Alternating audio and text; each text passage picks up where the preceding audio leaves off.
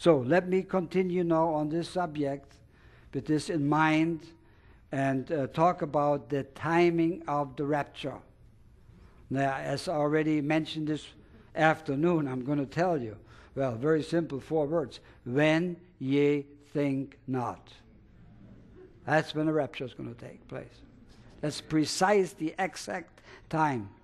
When ye think not. So don't be alarmed by certain alarmists, by those who, who uh, uh, thrive on making sensational stories and sensational co- discoveries. Be very cautious. When ye think not. I wanted to spend the next 25 minutes with you uh, thinking on the subject and uh, answering uh, four questions. And the first question is what is the rapture? And Norbert already gave a wonderful illustration of it. Why is the rapture necessary? Why should there be a rapture? And then when will the rapture take place? Which we already answered in a way. And then signs of the rapture. So let's go and open our Bible to, uh, to uh, 2 Peter 3, 2 Peter 3, verse 3 and 4, where we read the following about people who do not, that means they are believers, they do not believe in the coming of the Lord.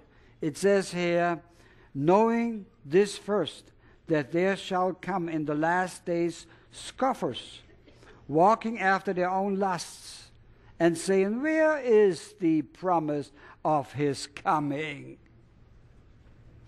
For since the fathers fell asleep, all things continue as they were from the beginning of creation.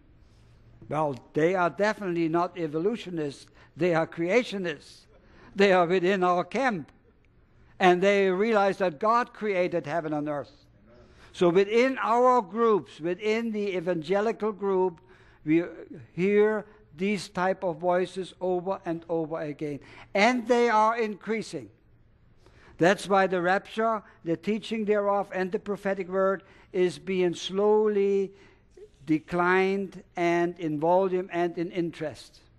And many people, we experienced that in midnight call here in the United States, that the, the that the uh, subscription, etc., the interest is decreasing the last 10 years. It's definitely decreasing. While in other parts of the world, it is almost explosively increasing. When we think about Brazil, our brothers in Brazil, where we are going to, tomorrow, we are flying to Brazil. Uh, it's just fantastic the reaction they have to the prophecy conference. The auditorium is full. It only takes 800, so they have to cut off. No more. Go home.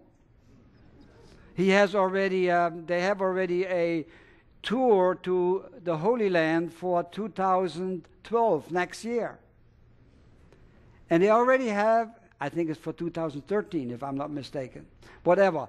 Uh, they already have over 230 paid reservations and they don't know what to do with the 30 because they only can take 200.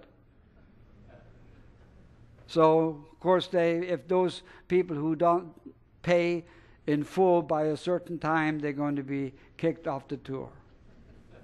now, we are happy when we get 30, 40, or 50. So, something has happened here in the, in the States, in the Church of Jesus Christ, that is beginning to fall asleep. And raptures, oh yeah, those rapture crazies. Yeah, well, they exactly these are believers. This is not the world. This is not unbelievers. These are not atheists. They are not communists. These are Christians.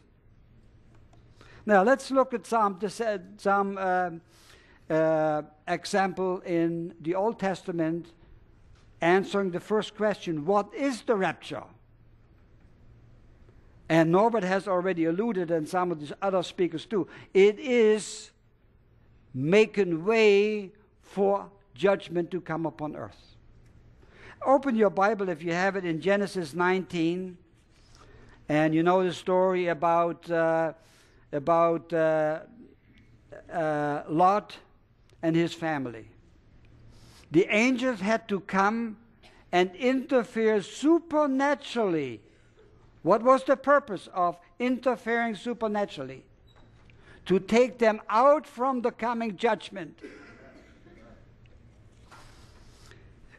Verse 17 Escape for thy life, look not behind thee, neither stay them in all the plains.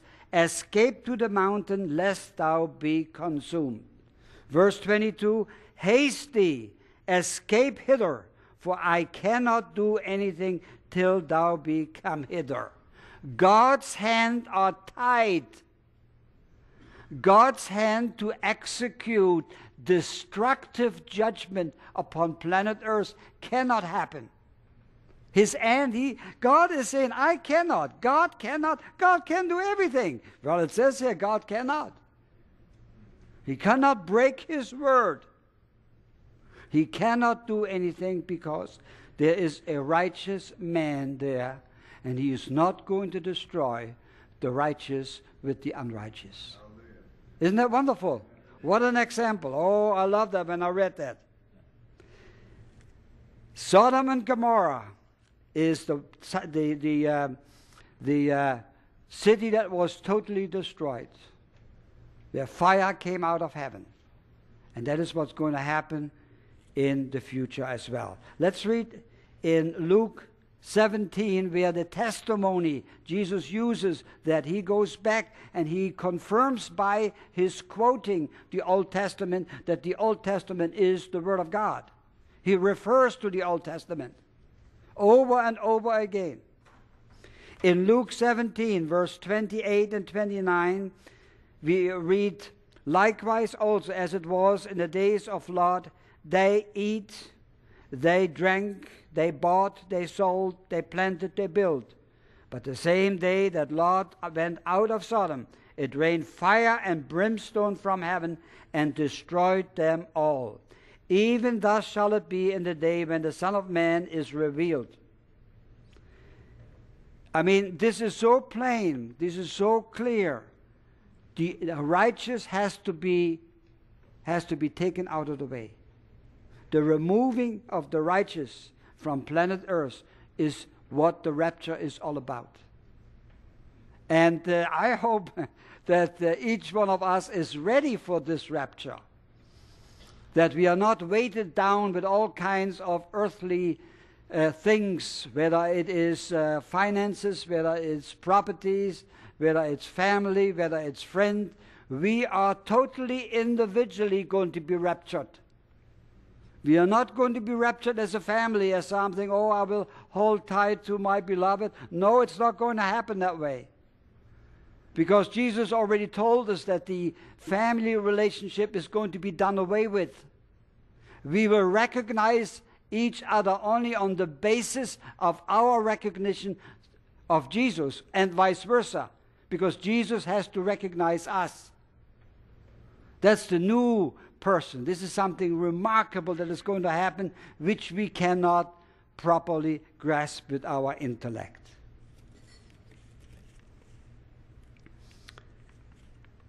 Well, let me go right away to point two because I don't want to spend time here till midnight, although we are midnight call.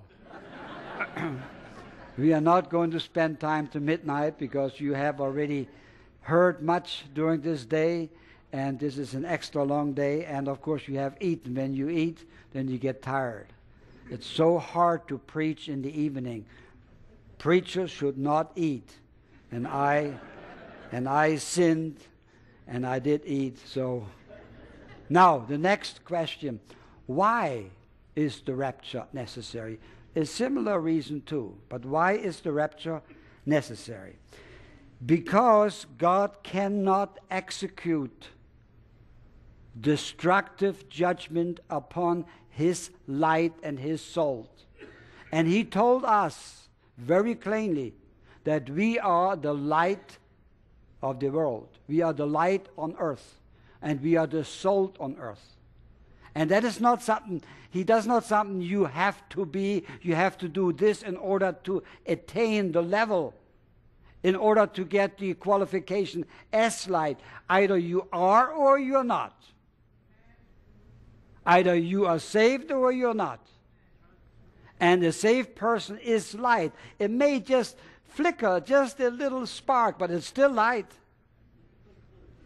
Even if it's a tiny little spark. And uh, I think you can prove that by going into a basement. If you have a basement in the house where everything is locked off and it's pitch dark. But if you strike a match, it's all bright. And the match cannot be seen during the day outside. And today we are living in this dark, ever a darkening world. People do not understand our thinking. They do not understand why we act as we do. They do not understand that we don't plan for the extended future. That we don't care about anything else but love one another. They can't understand that. And that's why Jesus says in Matthew 5, verse 16, Let your light so shine before men that they see, that they may see your good works and glorify our Father which is in heaven. Well, how simple. Now, we like to reverse that. We like to show off our good works. Did you know that I have written a dozen books? Ah, I'm publishing Midnight Call and News from Israel, and I'm serving the Lord now for 34 years. Uh, 40, 34, 43. 43 years, you know. Nobody wants to listen to that. And I see that in, in the Christian world, there's, you know, here is this doctor and so and so, and this is man. He has done so tremendously. He is a great man. He has been in the White House, and he has seen the Prime Minister of Israel, etc. All this bragging. That's not what people want to do. People want to see the light. And when they see light, then they recognize our work. And what do they do as a result? They praise our Father which is in heaven.